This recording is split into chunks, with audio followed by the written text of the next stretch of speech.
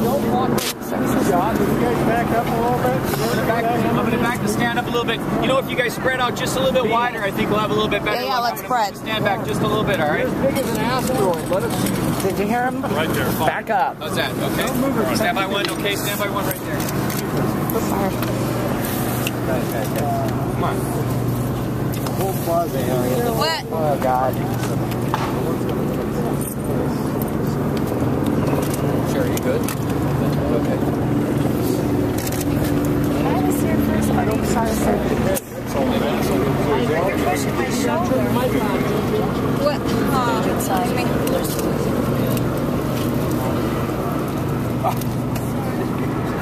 Roughly three hours after Now? police came in and did what they had to do to clear Now? Occupy Los Angeles. We're now about to get a definitive word on what went on here tonight. Well, Mayor Antonio Villaraigosa is here along with LAPD Chief Charlie Beck. Mayor wishes to step forward. Let's go ahead. Why do we do this? I'm going to get close to this mic. First of all, let me say that I said that here in Los Angeles we chart a different path than we did. In my life, I've never seen a more professional, restrained police force under very, very trying circumstances as I witnessed today. And I think every one of us including those of you in the media, can be proud of the professional way that our officers handled this demonstration. I, uh, I'm also very proud of Charlie Beck.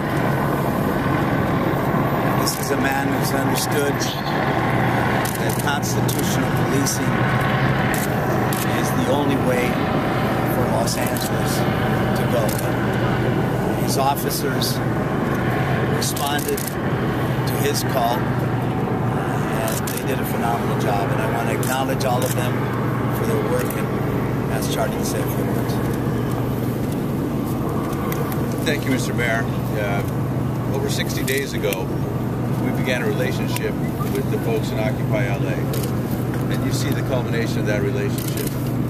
1,400 police officers uh, came to this encampment today what we think is uh, probably resulted in over 200 arrests at, at this point with minimal use of force.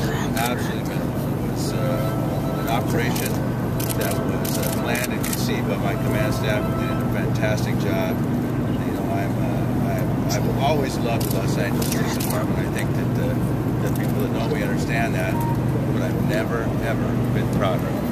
So thank you very much.